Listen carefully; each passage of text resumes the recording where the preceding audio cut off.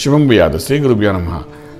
మకర రాశి వారికి ఫిబ్రవరి పదిహేనో తారీఖు నుండి ఇరవై తొమ్మిదో తారీఖు వరకు ఏ విధంగా ఉన్న విషయాన్ని విశేషంగా తెలుసుకుందాం. మకర రాశిలో శనీశ్వరుడు కూర్చుని ఉండడము ధనస్థానంలో బుధాదిత్యోగం ఉండడం తృతీయ స్థానంలో శుక్రుడు ఇవన్నీ మనకి ప్లస్ పాయింట్గా కనబడుతున్నాయి. రాహు ఆరింట్లో ఉండడం ఇంకొక ప్లస్ పాయింట్ అలాగే చూసుకుంటుంటే మనకు వ్యయంలో ఉన్న గురు కూజుడు కొంచెం నెగిటివ్ పాయింట్గా చెప్పడానికి అవకాశం అన్నమాట.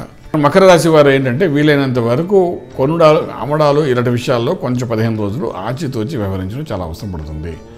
ఏదో షేర్ బాగుంది కదా అని ఇప్పుడు అమ్ముదానం చూసుకుంటే కరెక్ట్గా అప్పుడే డౌన్ఫాల్ అవ్వడము తర్వాత ఇబ్బంది పడడము ఇలాంటివన్నీ కూడా జరిగే అవకాశం బాగా కనిపిస్తుంది.